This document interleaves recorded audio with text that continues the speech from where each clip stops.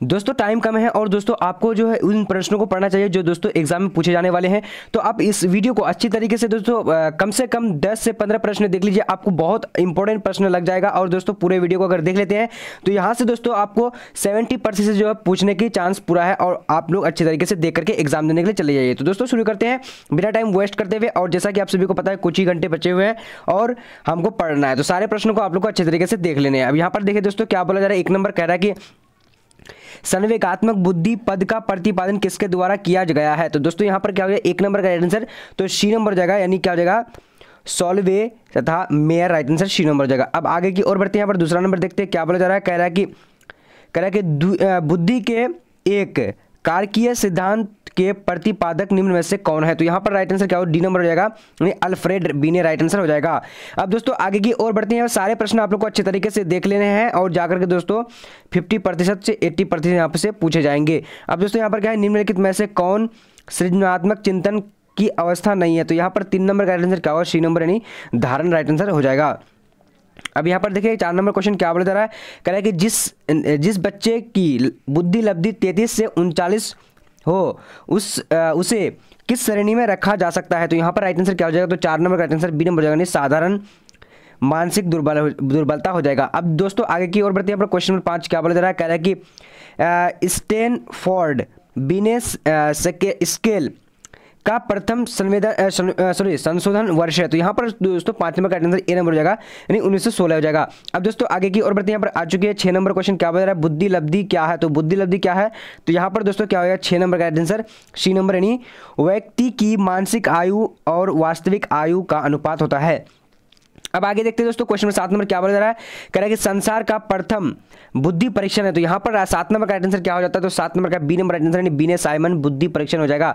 अब आगे बढ़ते हैं दोस्तों क्वेश्चन नंबर यहाँ पर आठ नंबर आ चुके क्या बोला जा रहा है? कि रंगीन प्रोग्रेसिव मैट्रिक्स द्वारा किसकी बुद्धि का मापन होता है? तो यहाँ पर आठ नंबर का राइट आंसर क्या हो जाता है? तो आठ नंबर का ए नंबर यानी बालकों का। अब दोस्तों, आगे की ओर बढ़ते हैं। यहाँ पर देखिए क्वेश्चन नंबर नौ क्या बोला जा रहा है? कह रहा है कि किसी व्यक्ति की किसी विशेष क्षेत्र की विशेष योग्यता कहलाती है। तो दोस्तों क्या कहलाती है? यहाँ पर राइट आंसर क्या हो जाएगा नौ नंबर का तो डी नंबर यानी अभी दक, अभी क्षमता कहलाती है। अब आगे की और बढ़ते हैं। यहाँ पर दोस्तों क्वेश्चन नंबर दस क्या बोल रहा है? कि बुद्धि तथा सृजनात्मक के बीच कैसा संबंध है? तो दस नंबर का यहाँ पर राइट आंसर क्या हो जाता है? तो ए नंबर हो जाएगा दोस्तों यानी सृजनात् सॉरी धनात्मक राइट आंसर हो जाएगा। सारे प्रश्न को आप लोग अच्छे तरीके से देख लें क्योंकि सारे इंपॉर्टेंट प्रश्न आपको एग्ज़ाम में पूछेंगे ठीक है? यहाँ पर देखिए ग्यारह नंबर किसने संज्ञात्मक मूल्यांकन प्रणाली विक, विकसित किया। तो दोस्तों यहाँ पर ग्यारह का राइट आंसर बी नंबर हो जाएगा यानी जेपी दास एवं नागलियरी राइट आंसर हो जाएगा। अब दोस्तों आगे की ओर बढ़ते हैं यहाँ पर देखते बारह नंबर क्या बता रहा है? कह रहा है कि निम्नलिखित में इससे सॉरी निम्नलिखित निम्नांकित में इरोज तथा थैटा थैनाटोस का तात्पर्य क्या है? तो दोस्तों यहाँ पर राइट आंसर क्या होगा? बारह नंबर का तो बारह का सी नंबर राइट आंसर हो जाएगा यानी जीवन एवं मृत्यु मूल पर, प्रवृत्ति से। दोस्तों यहाँ पर राइट आंसर में क्या हो? जाए तो सी नंबर। मैं इसीलिए थोड़ा सा अटक रहा हूँ। आप लोग अच्छी तरह से देख लीजिएगा बोलने में क्योंकि दोस्तों यहाँ पर क्या होता है कि मुझे फटाफट तेज़ी से करने होते हैं सारे प्रश्नों को इसलिए थोड़ा सा यहाँ पर अटक रहा हूँ। तो आप लोग अच्छी तरह पढ़ लीजिएगा ठीक है? अब यहाँ पर देखिए।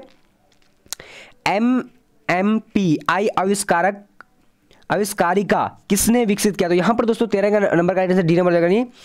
हथबे तथा मैकले हो जाएगा। अब दोस्तों, आगे की ओर बढ़ते हैं। यहाँ पर देखिए क्वेश्चन नंबर चौदह नंबर क्या बोला करेगा जब व्यक्ति अपने आह को किसी कष्ट कर इच्छा को ठीक, विपरीत इच्छा की प्रेरणा विकसित कर उससे उत्पन्न चिंता से अपने आप को बचाता है, उसे कहा जाता है। दोस्तों, क्या कहा जाता है? तो यहाँ पर चौदह का राइट आंसर क्या होगा? बी नंबर यानी प्रतिक्रिया निर्माण निर्माण हो जाएगा। अब दोस्तों, आगे की ओर बढ़ते पर देखिए क्वेश्चन नंबर पंद्रह क्या बोल रहा है? कह रहा कि व्यक्ति का आत्म सिद्धांत किसने प्रतिपादित किया? तो यहाँ पर पंद्रह का राइट आंसर क्या होगा? सी नंबर यानी रोजर्स हो जाएगा। अब आगे बढ़ते दोस्तों क्वेश्चन नंबर सोलह, क्या बोला जा रहा है? कह रहा है कि शेल्डन के व्यक्तित्व का आयताकार प्रकार क्रेशमर के किस व्यक्तित्व प्रकार से मिलता जुलता है? तो यहाँ पर दोस्तों सोलह का राइट आंसर क्या होगा? सी नंबर यानी पुष्ट का ये प्रकार हो जाएगा। अब दोस्तों, आगे की ओर बढ़ते हैं। पर देखिए क्वेश्चन नंबर सत्रह, क्या बता रहा है? कह रहा कि क्रेन हार्नी के व्यक्तित्व सिद्धांत का नाम क्या है? तो दोस्तों, यहाँ पर राइट आंसर क्या सत्रह नंबर का, सत्रह का राइट आंसर सी नंबर हो जाएगा, यानी सामाजिक मनोवैज्ञानिक सिद्धांत हो जाएगा। अब दोस्तों, आगे की ओर बढ़ते हैं पर अठारह नंबर क्वेश्चन क्या बता रहा है कि ऐसे व्यक्ति जो सामाजिक कार्यों में रुचि लेते हैं तथा दूसरों की भलाई विशेष ध्यान देते हैं, उन्हें युग के अनुसार किसी, किस व्यक्ति सॉरी, व्यक्तित्व प्रकार में रखा जाएगा। तो दोस्तों, यहाँ पर 18 का राइट आंसर क्या हो जाएगा? तो 18 का बी नंबर यानी वही मूर्ख हो जाएगा। मूर्खी। अब आगे बढ़ते हैं दोस्तों 19 नंबर क्या बोला जा रहा है? कह रहा है कि व्यक्तित्व मापन का उपयोग किया जाता है। तो 19 का यहाँ पर राइट आंसर क्या हो जाएगा? 19 का राइट आंसर डी नंबर यानी उपयुक्त सभी हो जाएगा। अब दोस्तों, आगे की ओर बढ़ेंगे। यहाँ पर क्वेश्चन नंबर आ चुके बीस नंबर क्या बोला जा रहा है? कह रहा है कि मनोविज्ञान मनोविज्ञान में किस व्यक्ति ने व्यक्तिगत विभिन्नता के संपर्क को सबसे पहले प्रकाश लाया। तो यहाँ पर राइट आंसर क्या हो जाएगा दोस्तों?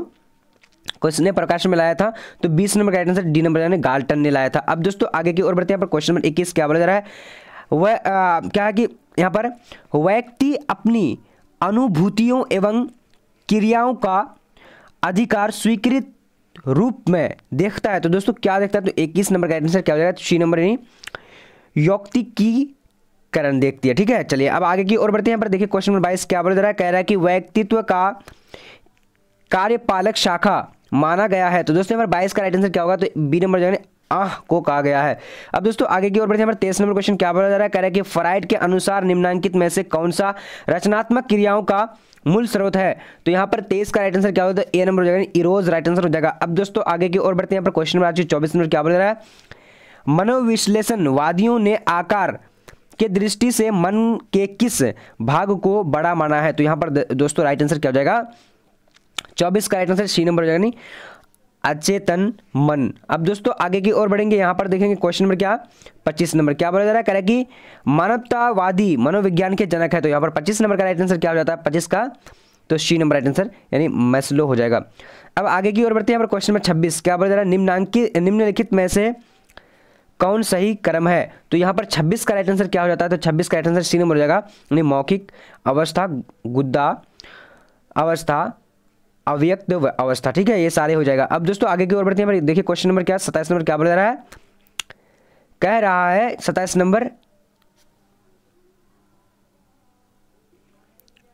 चलिए तो जल्दी जल्दी आप लोग देखिए यहाँ पर क्या सॉरी यहाँ पर राइट आंसर देखिए हम लोग ये वाला सी नंबर अब दोस्तों यहाँ पर देखते हैं सताइस नंबर क्या कि रोशार्क परीक्षण में कार्डों की संख्या कितनी होती है? तो दोस्तों यहाँ पर राइट आंसर सताइस का क्या हो जाता है? तो बी नंबर यानी क्या जाएगा? दस। अब आगे बढ़ते हैं, यहाँ पर क्वेश्चन नंबर अट्ठाईस क्या बता रहा है? करेंगे बाहम प्रति बलकों के प्रति, की गई प्रतिक्रिया है। तो यहाँ पर अट्ठाईस का राइट आंसर क्या होगा दोस्तों? तो बी नंबर खिंचा हो जाएगा। अब आगे की ओर बढ़ते हैं। पर देखिए क्वेश्चन नंबर उनतीस क्या बोल रहा है? करेंगे दबाव, प्रतिरोध, प्रतिरोधी व्यक्तित्व में कौन विशेषता नहीं पाया जाता? है तो यहाँ पर उनतीस का राइट आंसर क्या हो जाता है? तो उनतीस का डी नंबर यानी दुष् चिंता हो जाएगा, ठीक है? चलिए, अब आगे की ओर बढ़ते हैं क्वेश्चन नंबर तीस। क्या बता रहा है कह रहे हैं कि तनाव के कारण शारीरिक रोगों का प्रतिशत है। तो तीस नंबर का आंसर सी नंबर जाएगा दोस्तों, यानी पचास प्रतिशत से सत्तर प्रतिशत। अब आगे की ओर बढ़ते हैं दोस्तों क्वेश्चन नंबर यहाँ पर आ चुके हैं। कोसाबा के अनुसार दृढ़ व्यक्ति के लोग में उच्च स्तर की क्या होती है? तो इकतीस का राइट आंसर ए नंबर, यानी वचन बद्धता पाई जाती है। अब दोस्तों, आगे की ओर बढ़ते हैं पर क्वेश्चन नंबर बत्तीस। क्या बोला जा रहा है कि जब किसी की आवश्यकताओं की समुचित रूप से पूर्ति नहीं होती तो उसमें ऐसी स्थिति में उत्पन्न होने की संभावना होती है। तो कौन सी स्थिति संभावना होती है? तो बत्तीस का ए नंबर जाएगा कुंठ की, राइट आंसर कुंठ की जगह अब आगे की ओर बढ़ते हैं, पर क्वेश्चन नंबर तैतीस क्या बोल रहा है? निम्नांकित में कौन असामान्य व्यवहार से संबंधित नहीं है? तो तैतीस का राइट आंसर सी नंबर जाएगा, यानी कमज़ोर, याददाश्त। अब आगे की ओर बढ़ते हैं, यहाँ पर क्वेश्चन में आ चुके दोस्तों। क्या बोले चौंतीस नंबर अपराधी व्यवहार के जैविक कारक है। तो यहाँ पर चौंतीस का राइट आंसर क्या हो जाता है? तो सी नंबर, यानी एक्स वाई वाई क्रोमोजोम्स का होना। अब आगे की ओर बढ़ते हैं दोस्तों, यहाँ पर आ चुके क्या? बुलीमिया। एक ऐसी विकार है जिसमें रोगी को क्या किया जाता है? तो इसका यहाँ पर राइट आंसर क्या हो जाता है? पैंतीस नंबर का। तो पैंतीस का राइट आंसर जो हो जाएगा दोस्तों सी नंबर हो जाएगा, यानी भूख अधिक लगता है। अब आगे की ओर बढ़ते हैं पर देखो दोस्तों क्वेश्चन नंबर छत्तीस क्या बोला जा रहा है? कह रहा है कि एगोरा दुर्भूति किसे कहते हैं? तो यहाँ पर दोस्तों, छत्तीस का राइट आंसर यहाँ पर हम लोग देख लेते हैं आंसर में क्या है? तो छत्तीस का राइट आंसर जो जाएगा बी नंबर हो जाएगा, यानी भीड़ भाड़ वाले जगहों को, जगहों में से डर जाने से डर से, ठीक है? तो यहाँ किसको कहा जाता है? यानी एरो सॉरी एगोरा दुर्भीति कहते हैं, ठीक है? अब दोस्तों, आगे यानी भीड़ भाड़ वाले जगहों में जाने से डर को कहा जाता है। अब दोस्तों, यहाँ पर सैंतीस नंबर को देखेंगे, क्या बोला जा रहा है? कह रहा है कि एल एस डी निम्नांकित में किस वर्ग की औषधि है? तो यहाँ पर सैंतीस का राइट आंसर क्या हो जाता है दोस्तों? तो बी नंबर जगह यानी विम्रमो विब्रमोत्पादक ठीक है? तो आप लोग देख लीजिएगा अच्छे तरीके से, सभी तरह से। यहाँ पर देखिए दोस्तों क्या है, निम्नांकित में से कौन मनोदालिता का एक प्रकार नहीं है? तो यहाँ पर दोस्तों अड़तीस का राइट आंसर क्या हो जाता है? तो डी नंबर हो जाएगा, यानी क्या हो दो सॉरी विद, विद्रोही मनोदलिता। सॉरी मनोविदलता। तो यहाँ पर दोस्तों आप लोग देख लीजिएगा, अब फटाफट से, अब यहाँ पर देखते हैं उनचालीस नंबर क्या निम्नांकित, निम्नलिखित में से कौन सा लक्षण आतंक विकृति नहीं है तो यहाँ पर उनचालीस का राइट आंसर क्या डी नंबर यानी बाध्यता हो जाएगा। अब आगे की ओर बढ़ते दोस्तों क्वेश्चन नंबर देखेंगे हम लोग। यहाँ पर चालीस नंबर क्या बोला जा रहा है? कह रहा है कि मनोविदलता के रोगी का सबसे मुख्य लक्षण क्या है? तो दोस्तों, यहाँ पर राइट आंसर क्या हो जाएगा? चालीस नंबर का। तो सी नंबर यानी वास्तविक जगत से संबंध टूटना। तो जल्दी जल्दी आप लोग चैनल को सब्सक्राइब कर लेना और आगे वीडियो आने वाली है।